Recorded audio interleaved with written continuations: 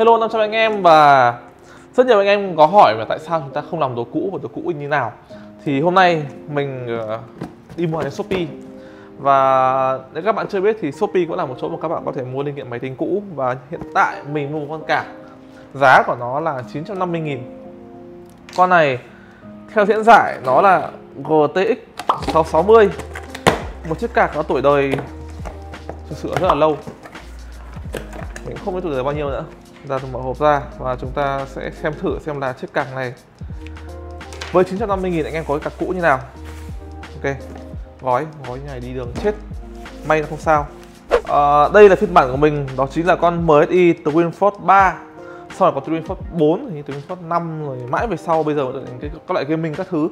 Và cái mẫu Queen này cũng là một cái mẫu mình đánh giá là nó cực kỳ đẹp vào thời điểm nó ra mắt. Mặc dù nhìn nó không to nạc dài nữa nếu mà so sánh ấy thì con 660 nó nằm chung phân khúc những chiếc như là 3060 Ti bây giờ ấy. Nhưng mà ngày trước các bạn nhìn một con 3060 một con um, 660 này nó chỉ dài khoảng hơn một găng tay một tí thôi. Tại một phần vì khoảng thời gian đó thì các kênh cũng khá là bé và không hỗ trợ những con càng dài khoảng tầm 25 30 phân như bây giờ. Um, vừa nhìn qua nhá các cái ống đồng này đã bị nói chung nó đã bị gọi là ố màu đi khá là nhiều. Quạt thì có vẻ là còn khá là mới không biết đã vệ sinh trước khi ấy trước khi mua chưa à, trước khi bán hàng chưa đằng sau cái tấm IO này cũng đã bị cũng đã bị xỉn màu khá là nhiều và chúng ta sẽ có bây giờ chắc cả rất ít cả màn hình còn lấy cổng DVI này. Và ngoài ra đây còn có hai loại cổng DVI thứ nhất là DVI dạng các bạn chỉ cắm được DVI sang DVI và thứ hai là DVI có thể chuyển sang cổng VGA được. Và ngày trước thì các màn hình dùng cái cổng VGA còn khá là nhiều và bây giờ thì chắc là tuyệt chủng rồi còn HDMI hết. Và cấp nguồn chúng ta dùng một nguồn 6 pin. À, tức là con card này ăn tối đa là 150W và các bạn sẽ phải uh, trang bị những bộ nguồn tầm 450W trở lên. Ở mặt sau thì vẫn có những cái vết tích của bụi và tem này. Đây là MSI N660 GTX Twinforce 3 OC tức bản này được ép sung rồi. Và đây ấy, cái tem tem voi hiện tại của nó là còn nguyên bản của từ nhà sản xuất nên là con này chưa từng được tháo ra. Và bây giờ mình sẽ thử tháo ra xem bên trong nó như thế nào.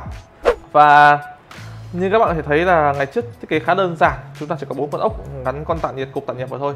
Và cục tản nhiệt này nó chỉ có ba ống. Nói chung so bây giờ đây ngày trước ý, thì đây là thiết kế rất là đỉnh cao nhưng mà bây giờ thì nó có vẻ giống với con card tầm tầm rẻ hơn là mấy con card tầm đầu 6 như này. Và chúng ta sẽ có bốn cái chip RAM mỗi chip RAM 512 m và chả có tản nhiệt quá gì cả. Không có tản nhiệt dành cho RAM không ốp gì vào RAM cả. VRM chúng ta có một cái tấm ốp và mình không rõ là tản nhiệt hay là chỉ là một cái tấm ốp hay không nữa. Đây một tấm ốp vào phần VRM vâng đông cứng hết lại rồi. Và mình sẽ chết lại kem cho em nó mát mẻ tí. Và thì chúng ta test cái phần à, tản nhiệt để xem là con cạc này xong bao nhiêu năm. Thì nó hoạt động tốt hay không? Chết lại kem vào và sau đó chúng ta bắt đầu test thử game. Xem là 950 nghìn. Chúng ta được một con cạc như thế nào. Một tí keo là đủ thả lắp những con cạc thời đầu 6, đầu 7 rất là dễ và thực sự là nó không so với không như với những cạc bây giờ. Cạc bây giờ thì do là cái GPU nó quá nóng nên là cái việc mà các bạn tháo cạc ra nó rất là lâu tại vì các hãng họ nhồi nhét rất nhiều những thứ khác nhau vào trong cái tản nhiệt. Việc tháo GPU này ra các bạn nếu mà không có kinh nghiệm thì mình cũng khuyên là không nên tháo ở nhà tại vì khá là dễ mẻ phần co ở trong nó không như các con CPU có một cái tấm ốp bên trên ấy. Những con cạc thì nó họ thường để co trần và bây giờ mình sẽ tắt cái máy đi đã. Rồi. Hiện tại máy này mình đang cắm là một con 3090 và vâng, một con cạc 45 triệu đồng và một con cạc 950.000 đồng. Các bạn thấy là công nghệ sau bao nhiêu năm phát triển này? Chúng ta có một cái hình thái nó gọi là gấp dày, gấp rưỡi và dài cũng gấp rưỡi. Sức nặng cũng là gấp rưỡi. Để cả cái ra đây ngày trước bạn nào mà có con 660 thì là đỉnh cao lắm đấy. Cũng kiểu chất chơi người rơi. Không biết là anh này chúng ta bị làm sao. Hay là do nãy mình tháo co ra toang mất rồi. À đây đã có tín hiệu. Vâng đây thì bình thường. À, về card này không hỗ trợ bởi driver UEFI vâng đây là vấn đề khi các bạn cắm con card quá lỗi thời vào một con uh, main cao cấp hiện tại mới nhất. Đây là con main uh, ROG Strix gì đây Z490 gì đó. Mình quên tên. Và đây là con CPU 10900K xem lên được không? Vẫn lên được. Vẫn nhận vẫn nhận. Báo một chút thôi. Mọi thứ vẫn hoạt động có vẻ như là ok. Đây, Nvidia GeForce GTX 660 sử dụng khi GPU là GK106 thì mình cài driver đã. GPU là GK106 và cái hiệu năng của con 660 này này thì nó sẽ là khoảng hơn 750 Ti khoảng tầm 15% và nếu mà so ra bây giờ ấy thì nó kém 105 nó tức là 1050 Ti nó sẽ mạnh gấp rưỡi con này. Mình không biết bây giờ tả cái nào. Nếu bây giờ so với con 3090 mình vừa bỏ ra ấy, thì con này con 3090 mạnh gấp 8 lần con 660 này. Sau khi cài driver mọi thứ đã yên ổn rồi mình cứ tưởng là do dây. À, đây thì hiện tại các bạn có thể nhìn là hạt hiện tại đang là ở khoảng tầm 43 độ C của GPU à, ờ, đây tăng lên hơn 50 độ rồi 54 độ. Trên 60 bắt đầu quay thì phải 56 chứng tỏ là khá là mát thôi chứ. Tản như thế này vẫn hiệu quả phết đấy. Đây con card đang ăn là 130W và chúng ta đang là GPU đang là 60 độ C và quạt bên cạnh vẫn chưa quay mới chỉ quay một quạt thôi. Hay là quạt nó chết ờ, rồi mình không biết nữa rồi, và bây giờ có vẻ là con cảm nhận đã teo một quạt rồi khả năng là cái quạt này nó đã bị tèo và cả đang là ở 71 độ C, một con số gọi là khá là nóng và chúng ta vẫn chưa chịu quạt này, tức là cái quạt này đã chết rồi. Và 950 nghìn là mình đã phải quạt chết rồi và không biết là cái được hoàn lại không. Tại vì một cái quạt này mình tra mà xem mua một, mua lẻ hai quạt này được hai ba trăm nghìn cơ, chả bỏ. 75 độ rồi. Và vẫn đang không ngừng tăng đây cả đã ra mắt vào 2015 tức là con cạc này đã qua 5 năm tuổi. 5 năm tuổi trong con cạc và hiện tại thì trước mắt thì mình đang ở trong cái phòng điều hòa và nhiệt độ bây giờ đang bật nói chung khoảng tầm 24 25 độ gì đấy. Và card đang là ở mức 77 độ C, trên Ben Table và đang đứng trước ngay một cái quạt. Nên là anh em nào mà dùng ở nhà mà con này mình vớ phải con hỏng quạt như này này, thì nóng phết đấy. Và chúng ta thử một chút, dùng cái mới đi Afterburner để đẩy thử nó lên xem là đây fast speed. Đây, vẫn chỉ có một quạt quay thôi, còn bây giờ hú kinh lắm. Quạt đang chạy 100% và nhiệt độ chúng ta ghi nhận đang xuống một chút đây. Đang khoảng tầm 75 độ C, cũng không đáng kể cho lắm. Tại vì thực ra ấy, là cái quạt này này, cái quạt này là quạt quạt tản nhiệt nhiều, tại vì cái cái ống đồng to nhất đi sang bên này. Trong khi đó ống đồng nhỏ đi sang bên này và bên này thì lại thổi vào và thì chết cái quạt ngoài là hơi tai hại. Nếu mà rảnh có thể ngồi sửa ngồi đổi vị trí quạt rất là mát hơn. Đây 73 độ 74 độ đang giảm một chút nhiệt. Nhưng mà rất là ồn. Thôi mình uh, sẽ trả lại như cũ và chúng ta sẽ vào test game thử xem là 950 anh em được cái gì.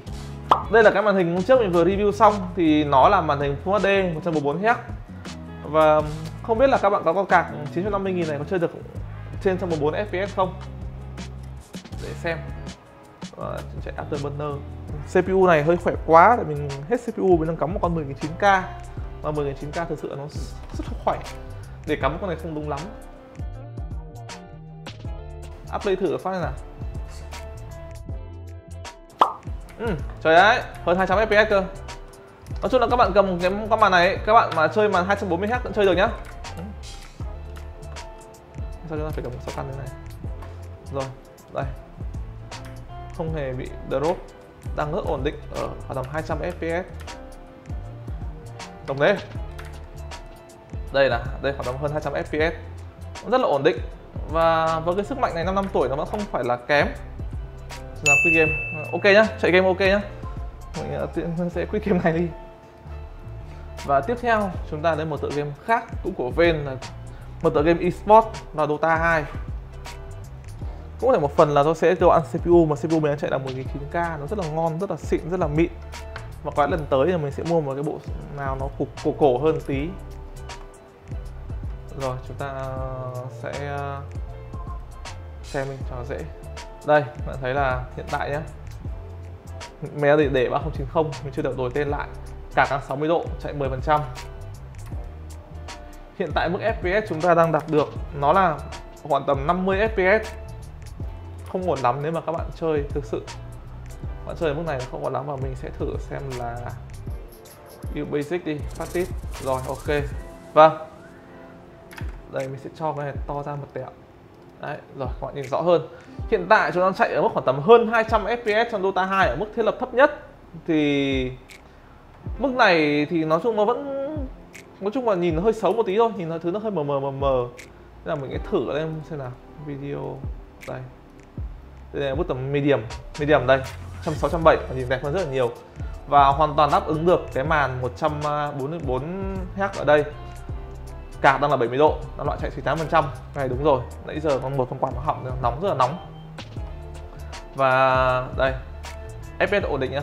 Tình trạng drop gần như là không có, nhưng mà chúng ta là 160 180 fps chạy ngon, lành, các bạn chơi Dota là thoải mái và Dota đã được ấy. Thì các bạn yên tâm là liên minh huyền thoại là kiểu gì cũng ngon mình test lên mình nữa chắc là khá là lâu. Nên là các bạn yên tâm là với cạc này 950 nghìn anh em về chơi game online là thoải mái bét nhảy chả gặp vấn đề gì cả. Nhưng mà bây giờ game nặng hơn thì thế nào? Rồi bây giờ chúng ta đầu tiên đến với một tựa game cực kỳ nặng là Shadow of the Tomb Raider. Xem nó có báo ở cạc chúng ta không đủ không? À, yêu cầu là 8 GB RAM ok CPU ok nhá. Cạc đây đây con cạc này là vừa đáp ứng cái yêu cầu tối thiểu để chơi game. Vâng mình sẽ sự giật lag. Hay giật giật giật giật rồi ok. Ui rồi giật graphic thấp thấp. Lâu ít. Rồi, ok. Đấy đỡ rồi đấy. Tắt hết tất cả mọi thứ nhá. Tessellation off hết. Không còn một cái gì cả. Lót lâu nhá. Rồi. Ui rồi ui rồi ui rồi ui rồi ui rồi ui rồi ui rồi mọi nhìn nha lỗi, phần vector tôi không biết là do cạc lỗi hay do cái gì mà phần này là toang này. 30 fps ở trong game ở thiết lập thấp nhất. Thì đây là một mức ấy. Nếu mà các bạn gọi là chơi ấy, thì nó là chơi gọi là cưỡi ngựa xem hoa là chính chứ bảo là hành động tốc độ cao với cái hình ảnh như này thì thôi. Không hiểu sao mà chúng ta bị lỗi ở cái phần hình ảnh trên người nhưng mà, nhưng mà chính cái này. Thử cảnh sau xem như nào. Ui rồi họ nhìn này. Phần đen là đen kịt phần sáng sáng chói lên. Chả thấy cái gì cả. Cái nhìn bắn thì thôi. Nói chung là toàn bộ hình người nhân vật đang bị lỗi có thể là một lỗi ở đấy của game. Và nói chung là các bạn uh, ở đây chúng ta có thể tạm suy ra ấy, là cái mức cấu hình thấp nhất mà các hãng họ đưa ra để các bạn sắm máy không chơi đâu. Đây Full HD thấp nhất tất cả mọi thứ và FPS đang vật vã ở tầm khoảng 30 đến dưới 30 và nghĩ là chúng ta không cần test thêm nữa trong cái Tomb Raider này. Fail tại Tomb Raider. GTA 5 thì sao? GTA 5 thì nó không phải là một tựa game quá mới như vậy chúng ta đã pass vào Dota 2 này CSGO là ok này. Uh, Tomb Raider là toang này tức là hai game online là ok. Còn game như là toang đây 60 fps chắc đang bật fps lốc. Tất cả đang là ở mức uh, very high đến 2 tức là mức khá là cao. Đang ở mức khá là cao đấy đang ở mức cấu hình cao. Xem mà chúng ta có chơi được game này không? Mình nghĩ chơi được. Rồi khá là ổn định nhá. Tầm uh, trên 70 fps tức là 60 70 nói chung là mới lại chơi được muốn mà nó nhanh hơn nữa và đẹp hơn nữa chắc là phải giảm setting xuống nhưng mà uh, đây có nghĩa là tức là khi mà các bạn mà dùng những cái uh, cấu hình đề nghị theo ấy theo hãng sản xuất ấy thì có lẽ các bạn chơi được ổn định ở mức 60 fps đây đây chưa bao giờ tụt xuống dưới 60 cả. Nó thấy rất là ổn định. Và đây là con số khá là ổn để các bạn chơi game. 60 70 nói chung là loanh quanh khoảng tầm đó. Cả thì vẫn đang ngồi tiếp tục ngồi tăng tăng nhiệt độ bị hun khói chưa bao giờ tụt xuống dưới 60 cả. Rất là ngon. Rồi. Chúng ta thử với các tựa game mới hơn một tí nữa đi. Nói chung là game online đã phát game khoảng tầm tất cả khoảng tầm 3 năm ấy, thì vẫn là chơi được. Game mới vừa mới ra là khó phần là toang. Và bây giờ mình sẽ thử với hai game nữa. Đầu tiên là Assassin's Creed Odyssey một game cực kỳ nặng. Cũng thuộc dạng game mới. Thử xem như nào. Và sau đó mình sẽ thử với cả Cyberpunk 2017 đấy là cái bài test bài test cuối cùng để xem là chúng ta bỏ chín trăm rưỡi xem là được cái gì. Nói chung là đối với mình hiện tại thì đây là một con cạc để chơi các game uh, hơi hoài cổ một tí nó không hẳn cổ hẳn. Ui rồi ui rồi giật ui rồi giật ui rồi giật chưa gì vào menu thấy toang rồi. Có lẽ các bạn phải giảm độ phân giải xuống một chút nhưng mà thực ra giảm độ phân giải dưới dưới HD dưới Full HD chơi ở 1280 x 720 nhìn nó tèo lắm mình không muốn chơi ở mức đấy sơn là tối thiểu chơi ở Full HD ui dồi, ui dồi, ui dồi, ui rồi chưa gì thấy giả tỏi. Option tất cả mọi thứ. Ui dồi ơi 18 fps ở trong cái này. Ui rồi ui rồi ôi. Bên mắc toang toang không? Vâng một, một đống lửa chạy nhất mà fps đang còn hai mấy này. Văng luôn game. Chết tứ đừ không chạy được. Toang fail. Không chơi được nhá. Không chơi được không chơi được. Và cuối cùng mình thử với cả một tựa game vừa mới ra. Có như chúng ta đã chết ở hai bài game mới Đó chính là bài uh, Shadow Rider và Asynchronous Odyssey. Khả năng những các game mà cũng à, Cyberpunk 2077 là một toang không thể vào được game. Bạn thấy là lộ báo lỗi luôn ngay lập tức. Và như vậy thì với nó các ngày thì mình thấy tức là nếu mà các bạn đã sắm một cái bộ máy nói chung là các bạn có máy cũ ấy, thì các bạn có thể mua nâng cấp để được để chơi được các game bây giờ. Tại vì hiện tại là card onboard nó cũng chả chơi được cái gì cả. Và kể cả bạn dùng những card onboard mạnh như là những chiếc như là 3200G hay là 3400G ấy các bạn cũng chỉ chơi được liên minh huyền thoại Dota ở độ phân giải là HD nhé tức là nó còn là 1280 x 720 ở mức loanh quanh dưới 60 fps còn là 70 fps mà thôi các bạn không thích mua card mới mà các bạn có kinh, kinh phí hạn hẹp tại bây giờ một triệu chả mua được cái gì mới cả. Các bạn mua những card cũ như kiểu con 650 này à 660 này hay là 750 Ti thì các bạn có thể chơi được những cái game online ở mức khoảng tầm trên 100 đến 200 fps rất là thoải mái và đương ngon lành. Và ngoài ra các bạn muốn chơi game mới thì không thể chơi được nhá. Đã chính thức là toang các game mới là bây giờ là không chơi được hết. Và các game cũ thôi. Những game mà rơi vào khoảng tầm à, 3 năm về trước ấy, như là GTA 5 thì các bạn vẫn hoàn toàn chơi tốt được với chiếc 660 này và nói chung là để chơi thì hoài cổ nhưng mà một cái vấn đề ấy, khi mà các bạn mua cả cũ như này này thì các bạn sẽ phải đối mặt những vấn đề thứ nhất là về bảo hành. Khi mà hoàn toàn những con cạc tuổi thọ 5 năm như này sẽ không còn bảo hành một tí nào cả và các bạn chết là còn như vứt đi luôn. Và nếu mà đỏ thì các bạn sống khoảng tầm các bạn còn một một đến hai năm nữa còn đen thì khoảng tầm một hai ngày nữa nó lăn ra chết thì chả biết nào. Và thứ hai đó chính là các bạn sẽ không thể như là mình mua online nên là mình sẽ không thể kiểm tra được tình trạng và hàng hóa như là con cạc này của mình nhận là nó đã chết luôn cái phần quạt bên này rồi nên là nếu anh em nào mua ấy thì phải kiểm tra trước rất là kỹ càng về phần quạt này phải và phải kiểm tra để về phần mạch sau nó có phần gọi là bị cháy các cháy nổ các thứ gì trước hay không cũng như tem voi còn không.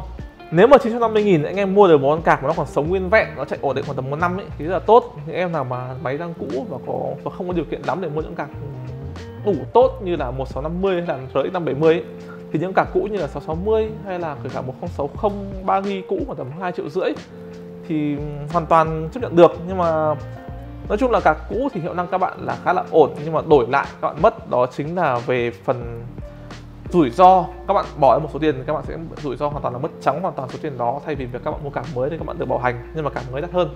Thì anh em nghĩ nào và còn muốn mình làm tiếp về các cái series, mình đi mua đồ cũ tiếp hay không? Tại vì mình đang còn list khá là nhiều các đồ cũ và đời cổ hơn nữa cơ. Anh em cho mình biết trong phần comment nhé. Còn bây giờ, xin chào, hẹn gặp lại anh em ở trong các video sau và bye bye.